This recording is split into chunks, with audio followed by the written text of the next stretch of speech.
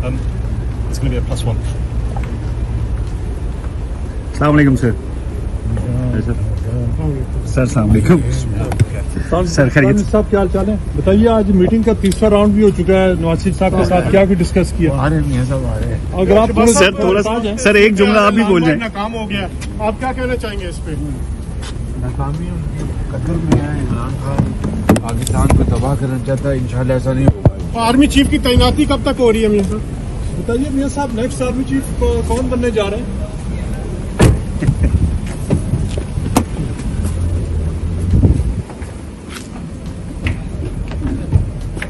अस्सलाम वालेकुम मियाँ साहब। अस्सलाम जी। मियाँ साहब मियाँ साहब। के तीन राउंड हो गया आज प्राइम मिनिस्टर शहबाज शरीफ साहब के साथ तो क्या डिस्कस हुआ? थैंक यू इसी को आराम से बैठ के बताएँगे तो आगे जाके तो नहीं बातें होती ना। मियाँ साहब सुनने मियाँ साहब सुनने में आया कि किसी आर्मी चीफ का ये हैं. कि अब मामला काफ़ी बेहतर हो गए हैं जो एक अनसर्टिनिटी फैलाई जा रही थी। बस अल्लाह ताला से आप दुआ करें। अल्लाह ताला मामला को बेहतर ही बनाए और मुल्क को भी बेहतर रास्ते पे अल्लाह ताला लेकर आए। मियाँ साहब सुने हैं किसी भी चीफ के हवाले से मुल्क मुल्क मुल्क मुश्किल में है। मियाँ साहब नए आर्मी चीफ का कुछ फैसला मैडम आप क्या कहना चाहेंगे लॉन्ग मियाँ साहब सुना है किसी जत्थे की बात ना मानने का भी मामला तय हो गया है कि किसी जत्थे की बात नहीं मानी जाएगी।